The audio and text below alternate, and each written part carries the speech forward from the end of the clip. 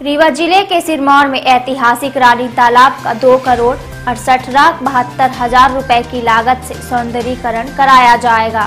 तालाब के सौंदर्यीकरण के लिए भूमि पूजन विधायक सिरमौर दिव्यराज सिंह एवं नगर पालिका अध्यक्ष संदीप सिंह द्वारा किया गया।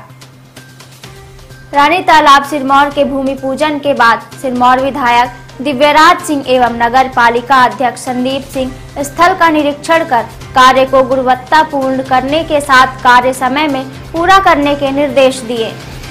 बताया गया है कि सिरमौर का ऐतिहासिक रानी तालाब यहाँ के लोगों के लिए जल स्रोत के साथ जीवनदायिनी तालाब है। यहाँ एक ऐतिहासिक मंदिर भी है, जिसके जीर्णोद्धार का प्रयास किया जा रहा है। सिरमौर विधायक दिव्यराज सिंह ने कहा कि इस तालाब के सौंदर्यीकरण हो जाने से आसपास के लोगों को एक अच्छा वातावरण मिलेगा, जहाँ सुबह और शाम को वह वॉकिंग कर सकेंगे। उन्होंने कहा कि उनका प्रयास है कि क्षेत्र में ज़्यादा से ज़्यादा तालाबों को जल स्रोत बनाने के साथ ही उनका सौंदर्यीकरण किया जाए। कण्ठे च मुक्तावली। गोपस्त्रे परिवेशितो येते गोपालचूडामणिः ॐ सुन्दः इन्द्रो विदस्रवाः नः भूप